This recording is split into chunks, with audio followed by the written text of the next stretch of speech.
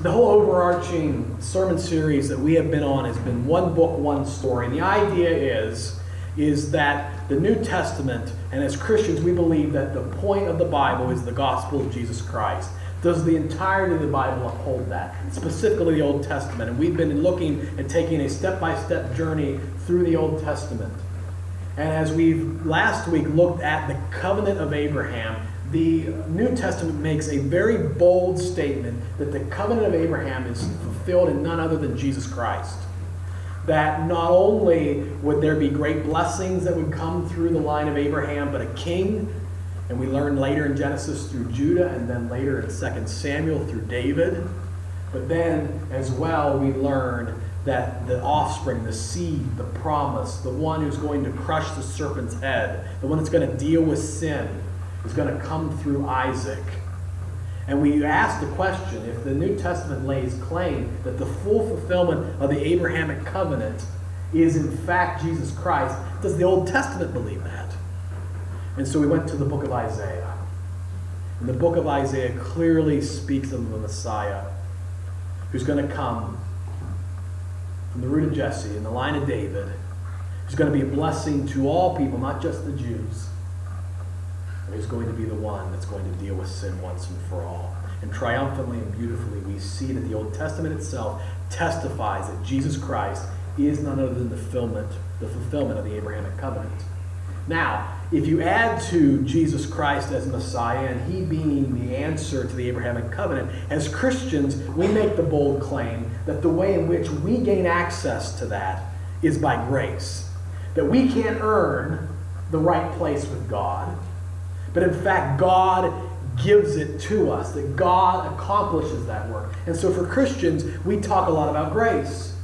And so if the covenant, the new covenant of Jesus Christ, which is the fulfillment of the Abrahamic covenant, is centered on grace, is ratified by grace, is instituted in grace, is that true for the Abrahamic covenant? Because again, we make this bold claim. You see the Abrahamic covenant? That's Jesus. But again, I ask the question we as Christians say the way that we gain access to Jesus is through the grace of God.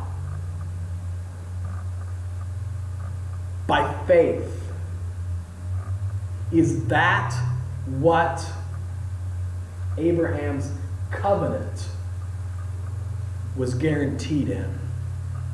And so last week we looked at chapter 12 and chapter 17, but I also told you chapter 15 contains the covenant as well. And that's the chapter we're going to look at today Genesis chapter 15. Last week we looked at the covenant itself. Today we're looking at the, that, that how the covenant was fulfilled, how the covenant was brought about, how was it ratified. And, and, and, and Genesis 15 is going to give us that. Let's take a look. We're going to read Genesis 15 together. We're going to read the chapter. After this, the word of the Lord came to Abram in a vision. Do not be afraid, Abram, I am your shield, your very great reward. But Abram said, O sovereign Lord, what can you give me since I remain childless, and the one who will inherit my estate is Eliezer, Eliezer of Damascus? And Abraham and Abram said, You have given me no children, so a servant in my household will be my heir. Then the word of the Lord came to him. This man will not be your heir, but a son coming from your own body will be your heir. He took him outside and said, Look up at the heavens and count the stars, if indeed you can count them. Then he said to him, So shall your offspring be. Abraham believed the Lord, and it was credited to him as righteousness. He also said to him, I am the Lord who brought you out of Ur of the Chaldeans to give you this land to take possession of it. But Abraham, but Abram said, O sovereign Lord, how can I know that I will gain possession of it? So the Lord said to him, Bring me a heifer, a goat, and a ram, each three years old, along with a dove and a young pigeon. Abraham brought all these, cut them into, and arranged the halves opposite each other. The birds, however, he did not cut in half. Then birds of prey came down on the carcasses but Abram drove them away. As the sun was setting, Abram fell into, the, into a deep sleep. as a thick and dreadful darkness came over him. Then the Lord said to him, Know for certain that your descendants will be strangers in a country not their own, and they will be enslaved and, and, and mistreated for 400 years. But I will punish the nation they serve as slaves, and afterwards they will come out with great possessions. You, however, will go to your fathers in peace and will be buried at a good old age. In the fourth generation, your descendants will come back here, for the sin of the Amorites has not yet reached its, its full measure. When the sun had set and darkness had fallen, a smoking fire pot with a blazing torch appeared and passed between the pieces. On that day, the Lord made a covenant with Abram and said, To your descendants I will give this land, from the river of Egypt to the great river, the Euphrates, to the land of the Kenites, the Kenizzites, the Kadmonites, the Hittites, the Perizzites, the Rephaites, the Amorites, the Canaanites, the, Ger- the Girgashites, and the Jebusites. Let's pray. Father, we thank you. You are an amazing God. And as we seek your face in Genesis, we see none other than, none other than the face of Jesus. Make him clear today. In his precious name we pray. Amen. So we're talking about the concept of grace.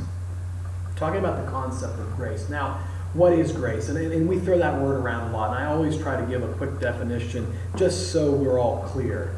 A wage is something a worker earns for the work they put in. That's a wage. A prize, a trophy, a reward goes to the winner, the champion, to the victor. But grace is a gift given to the undeserving. It's just given, whether the person merits it or not. Grace is just given to those who don't deserve it. And so when we come to the story of Abraham's covenant, we say it points to Jesus, but is it fulfilled in grace? And so let's take a look at chapter 15. As we see this story unfold, we see again God restating the Abrahamic covenant. And in a dream, he, he states to Abraham again that he's going to be his great reward and these blessings are going to come. And Abraham, not in a lack of faith, but just in, in, in a basic inquiry, Lord, I mean, I don't have an heir. You're talking about all these, you know, the, you know, the great nation, all these things. My my heir is is my servant. And so then God tells him very clearly that his heir would come from his own body. And not only that, would be take took him outside, look at the stars, if you can even count them, so it will be like your people, more than it can be counted. And then God then not only speaks of this great nation, but again talks about the land that will be given to them. Now, what's interesting in this moment is God's laying out a covenant, a contract, an agreement. And what's interesting there in verse 7, uh, I'm sorry, in verse 8, Abram says, O sovereign Lord, how can I know that I will gain possession of it? What guarantee do I have, God, that this is going to happen? How do I know you're going to bring this about? Now, in our culture, if there's a contract, if there's a, a, a, an agreement made, we use a piece of paper, don't we? And how do we guarantee it? We sign it, right? That's how we ratify, that's how we guarantee a contract, an agreement. In fact, generally in our culture, the lesser person is the one that has to sign. So let's say I go to, I don't know, I go to uh, a phone company and I want to get a cell phone plan. Okay, the president of the cell phone company doesn't show up and sign the contract with me. I, the lesser, I'm not the corporation, I'm not the company, I'm the one that signs. And in that contract, it'll say all the bad stuff that'll happen to me if I don't live up to my side of the deal. In fact, that's what happens when you get a mortgage for a home, right? How many of you, this is probably maybe more true recently, but I think it's probably always been somewhat true. There comes this moment when all the mortgage work is done with the bank, and you sit down with your real estate agent. They love this moment because that's the day they get paid. Okay, the check shows up that day. And there is, that's right, Ed. There, and there sits around you in a, in a, in a, in a room full of lawyers, a contract that thick, and you sign, and you sign, and you sign, and on every each one of those pieces of paper tells you what awful things are going to happen to you if you don't pay your mortgage, if you fail to live up to your side of the bargain. And so in our culture, we sign on the dotted line. In Abram's culture, it really is somewhat similar. But instead of signing on a piece of paper, they wouldn't sign a contract. They wouldn't sign a covenant. They would cut a covenant. And so when God speaks to Abram and says, Lord, how can I get a guarantee of this? God tells him to go get a bunch of animals. Abram would have known exactly what that meant. And in fact, we see Abram cut the animals in half a heifer, a goat, a ram, and then he sacrifices a dove and a young pigeon. And the picture is that these animals would be cut in half and placed across from one another, like a path would be created. And the blood would run down between those animals. And so a path of blood would be created between animals cut in half. And what happened in their culture was if you're going to make a contract or agreement, just like in our culture, the lesser one is the one that has to sign on the dotted line. The lesser one is the one that says, I take on the penalties and the curses. And so what happens? So say a king was going to make an agreement with a lesser governor or a lesser king or a vassal. The king who has all the power, he's not going to pay the price. But if the vassal doesn't live up to his agreement, may what happened to these animals happen to me. That's the symbol. And so the lesser would usually be the one that would pass through the animals. Just like in our, and there's rare occasions in our culture where both sign. But for the most part in our culture, it's very much like theirs. The lesser is the one that says, I'll take the curses, I'll take the penalty. I'll be the one that suffers if this deal isn't left up to, isn't kept up to. And in Abram's culture, the expectation at this moment for Abram would have been God instructs him to get those animals. He does what is required to cut a contract. And then Abram would have expected, God would have said, okay, now Abram, walk through it. But it doesn't happen. In fact, you're almost given this sense that a lot of time goes on because the, the, the birds of prey, it didn't it happened outside. By the way, those watching online, I explained to these people while I was preaching this in uh, outside our outdoor service, literally while I was preaching this part of the sermon, a hawk landed one foot from me outside, and I had to drive it away. And so, a little, a little spooky. But Abram had to do that, and as time went on, you would imagine Abram thought, I'm going to have to be the one that walks through, but that word never comes. In fact, what happens is, what happens to Abraham? He falls asleep, but not an ordinary sleep, a sleep in darkness. So, what's the picture here? Abraham's laying there in darkness. He's not the one that's going to walk through the contract. He's not the one who's going to ratify it. He's not the one who's going to walk through the blood. But who's going to walk through the blood? Who's going to take on the curses? Who's going to accept the responsibility for the broken covenant? God shows up and in the, in the image of a torch passes through fire, passes through the blood. And the picture here is ripe and powerful. God is saying in this moment, I will take the part of the lesser. While Abraham lays over there in, in, in, in the sleep almost of death, alive but yet appearing dead. God walks through the blood. God says, when this covenant, and it already was broken, by the way, wasn't the covenant between man and God already broken? It was broken back in, in Eden. Has man ever been able to live up to anything? The covenant was already broken. And so when God has those animals split, split and that blood, and God walks through that blood by the, by, by the, by the picture of his fire, by that torch in, the smoking pot as he walk, as that, as that passes through the blood, the picture is that God is saying, I will ratify this covenant. The sign by which I will seal this covenant is that I will take the penalty on myself. I will become the lesser, and I will walk through the blood. I will do that while you lay in the death of in while you lay in the sleep of death. I will walk through the blood. I will take the penalty for the broken covenant. I will do what's necessary because Abraham, you cannot. Now, brothers and sisters, does this need any commentary? while we were, while we were still sinners, Christ died for us. He who knew no sin became sin that we might become the righteousness of God. 2 Corinthians 5 21. For God so loved the world, he gave his one and only Son. For it is by grace you have been saved. You see, Abraham's covenant points to the greater covenant, Jesus Christ, and it was ratified by grace, by what God did. And we can read in Philippians chapter 2 that Jesus willingly took the place of the servant. He willingly took the place of the lesser, even though he was God. And while he took on the place of the lesser, he took sin upon himself. He took the curse upon himself. He laid himself down. And he ratified the covenant by walking through the blood, his blood.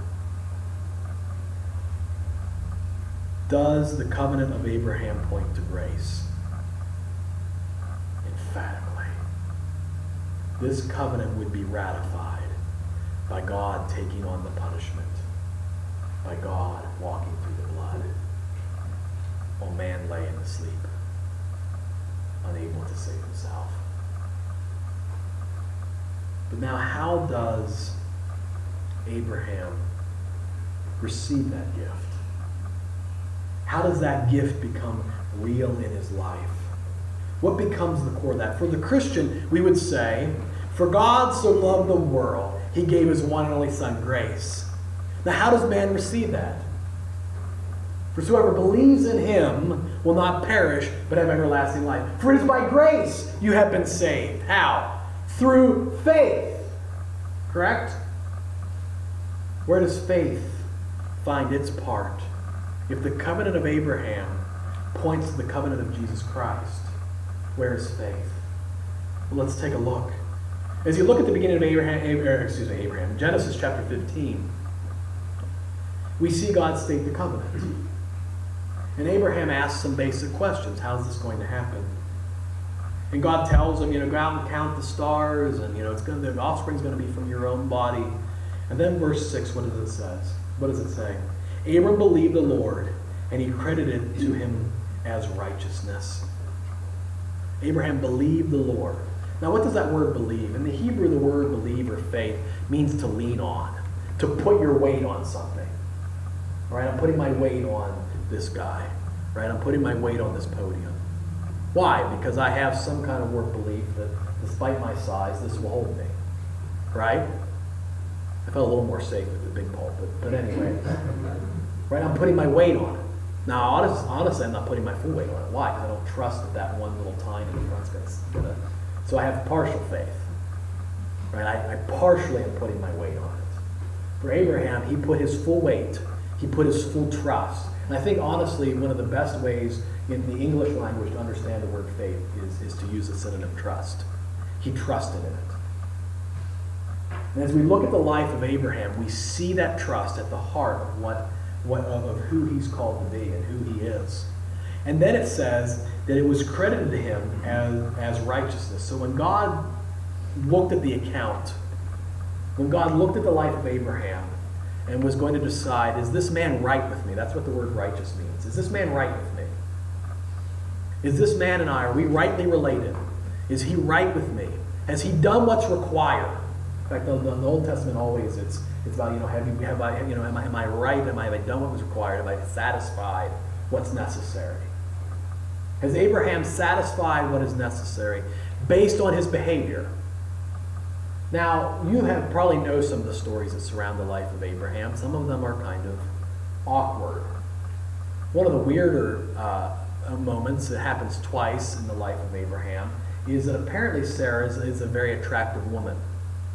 Okay, kind of Bugs Bunny, like when people see her, they just fall in love. And she's not a spring chicken either, so I mean, my goodness, she must have been quite a lady. And so when they go in different places, one of them in Egypt, they see her, and what does Abram say? My sister, what a weenie. Right? I mean, he allowed his wife to be left vulnerable. Instead of him putting his neck on the line, he makes her be the one who's put on the line. Makes the kings who, who are now living under a falsehood put their integrity on the line. Does not handle that well. And not just once, but twice. In fact, Isaac falls under that same trap too. But then, as well, the whole Isaac and, and the whole Ishmael and that whole family drama, I, Abraham's not exactly leading well through that one, is he? He's not a perfect man. But when God looks at the account of Abraham, he's counted before God as what? As right with God. Why? Because of his faith. Because he trusted. Because he leaned in. When God said it, when God made the promise, when God made the covenant, he put his weight on it. He said, This is what I'll trust. This is what I'll believe. This is where I'll place my hope. And we can see this lived out in, in the life of Abraham. We go back to chapter 12. How does this whole how does this whole dealio start? It begins with the Lord saying to Abram, Leave your country, verse chapter 12, verse 1. Leave your country, your people, and your father's household, and go to land I will show you. Now imagine how much faith that would take. We're leaving, honey. Where? I don't know. God's going to show us. Before that man could put one foot in front of another, it took immense faith. Now go back to chapter 15. God says you're going to have a, a you know, from your heir, from your line, is going to come, from your body is going to come a great nation. Now, let's face it. How old is Abraham when Isaac's born? 100 years old. He would be, Al Roker would celebrate him as 100 years young right? They'd ask, people on the newspaper, they'd ask them dumb questions like, how do you get to be 100 years old? Like they know. You know? How'd you get to be 100 years? I didn't die. That's how I became.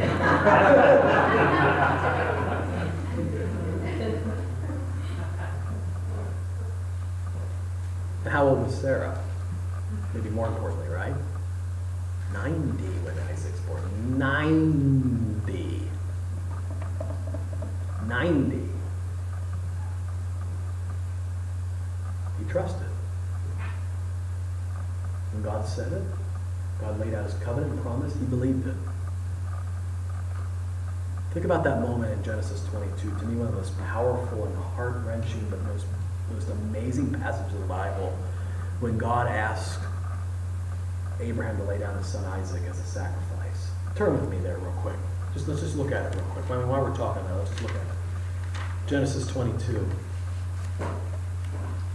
Before Abraham ever picks up the knife to accomplish what God has asked him to do, he says this in verse 5.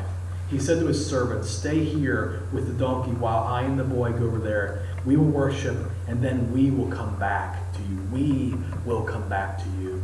Then there's that moment where Isaac's kind of going, Dad, where's the sacrifice?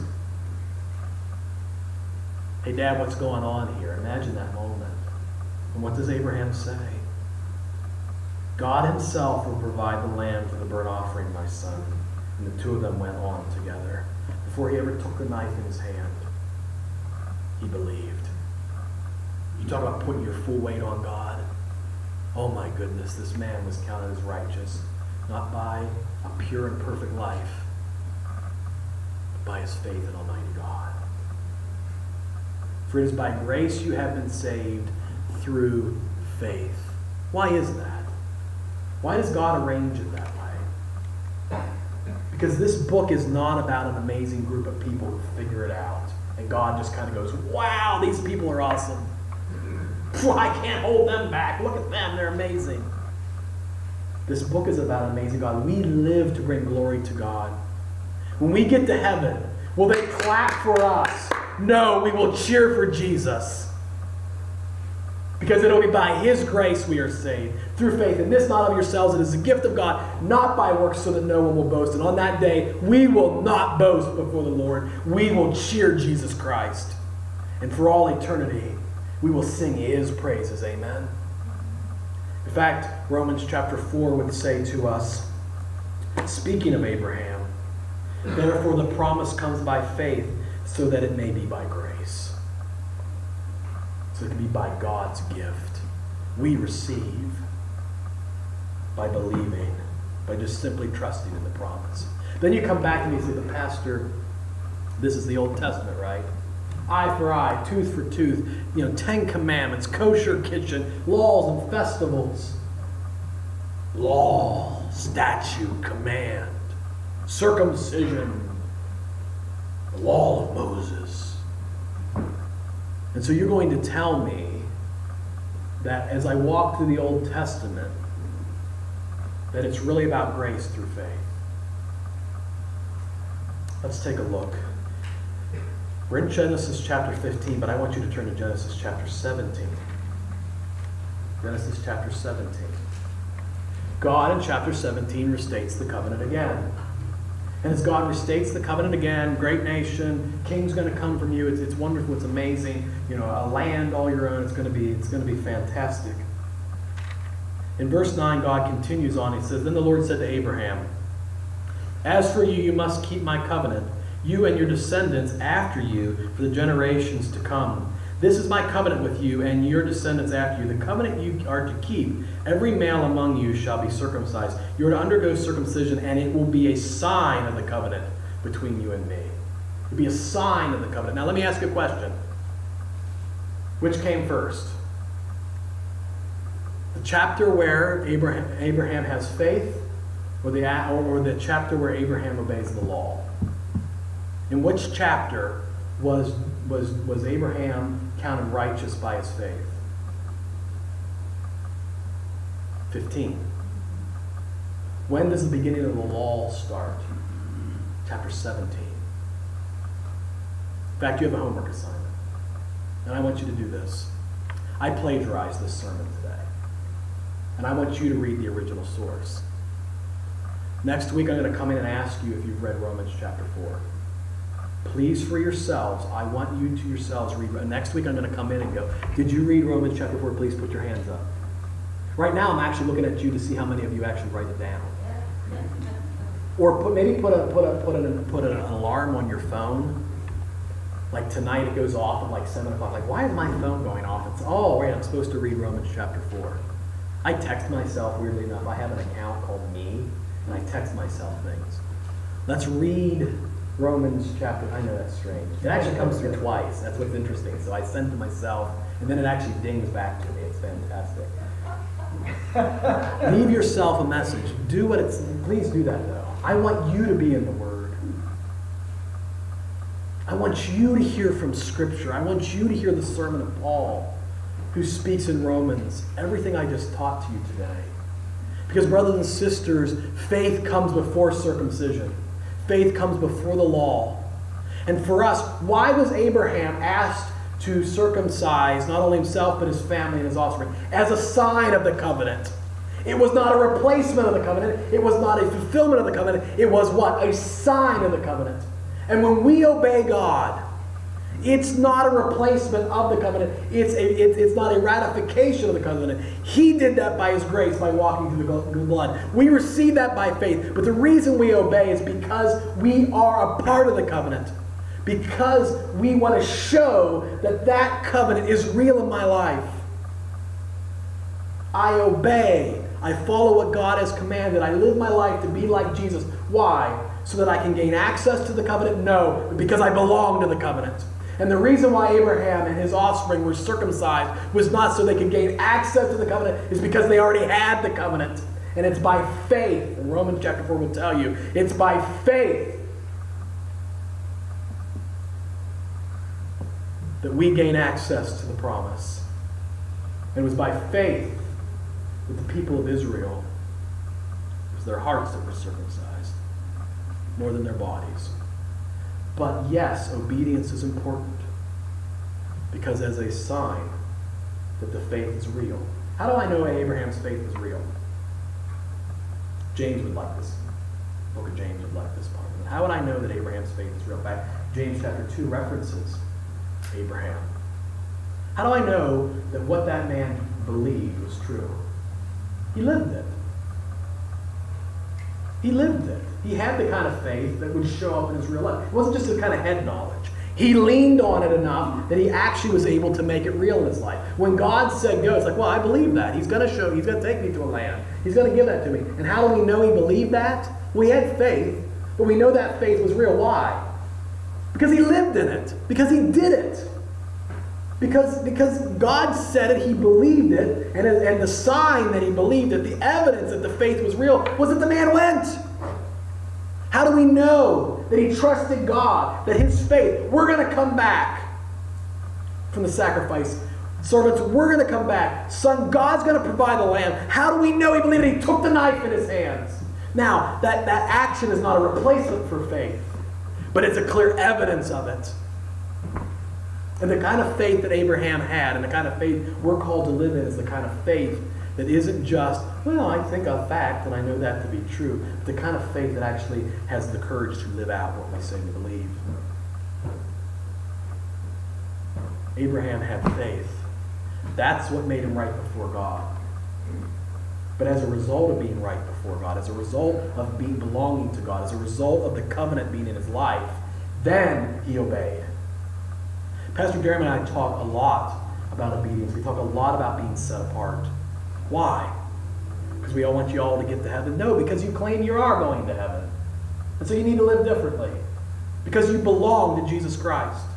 It's not the circumcision that made Abraham receive the covenant, it was his faith. But as a result of being a part of that covenant, now he was to be a set apart people.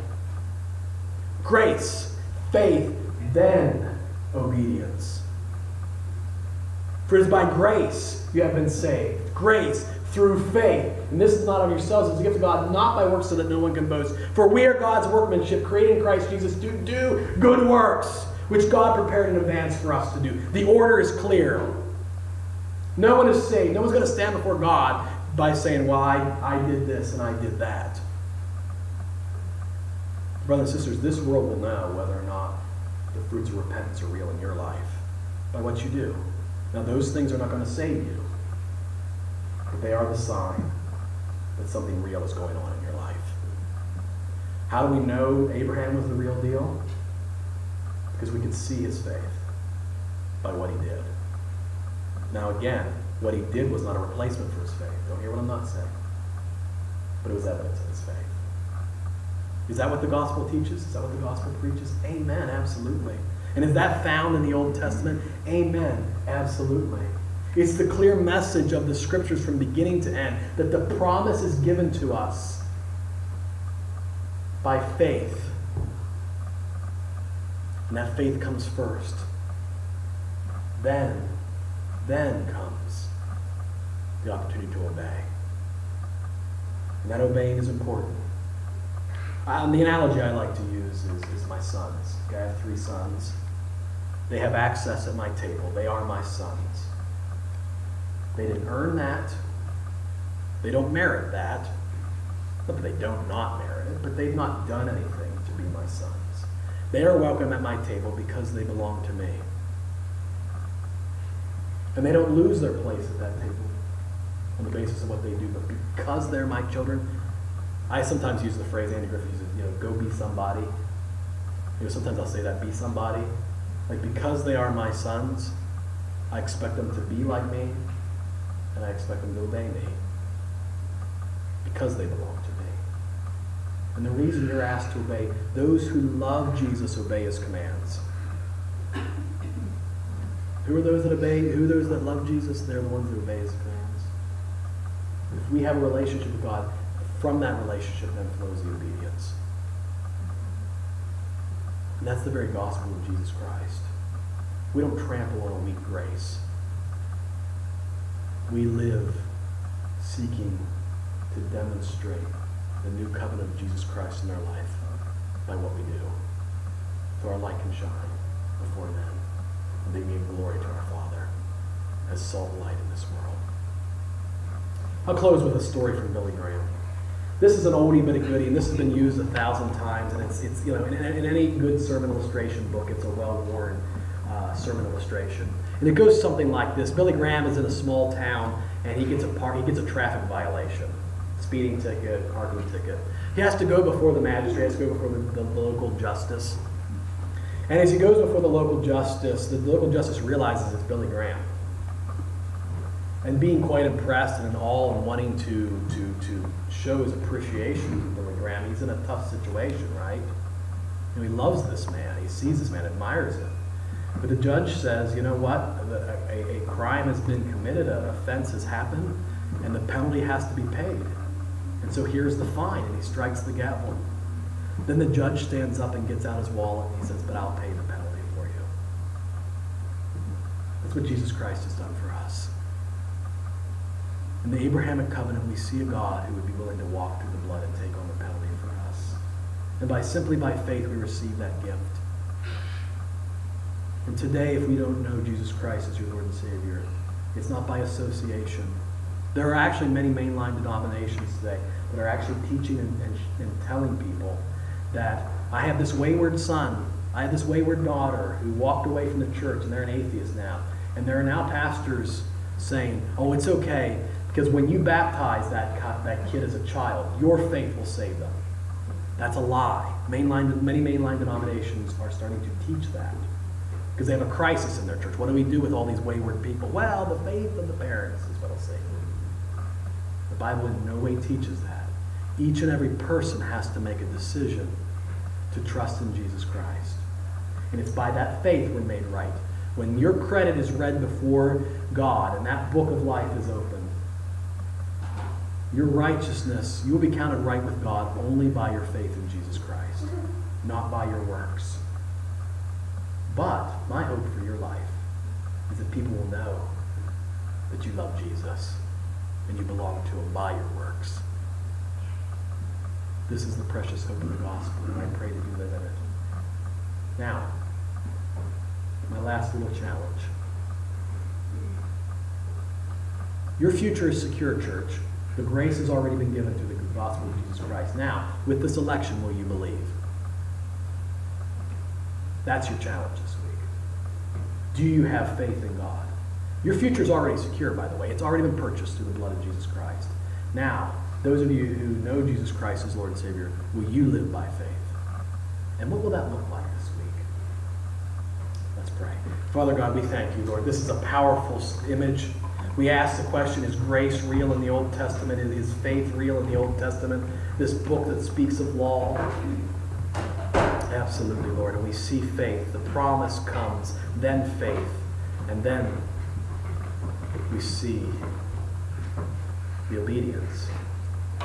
Lord, we thank you for that. We thank you for that clear pattern. I, I just pray, Lord, that, that, that as you continue to unpack for us the clear demonstration of your gospel and scripture, that not only would souls be saved, but Lord, you would so cement and help us understand that gospel that we ourselves will be able to share and, and, and, to express that amazing gospel which is able to save. But Lord, I also pray that your people will, will have a cultivated hunger to be in the Word themselves, to read these things for themselves, the great hope of Jesus Christ. In his name we pray. Amen. God bless you. Let's stand together as we close and sing.